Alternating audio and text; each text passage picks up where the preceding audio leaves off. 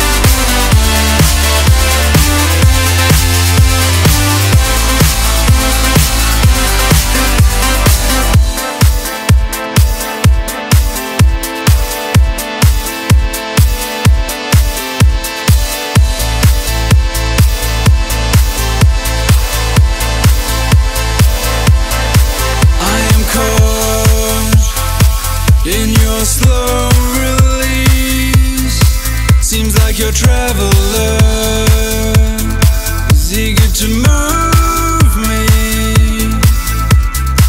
My reflection.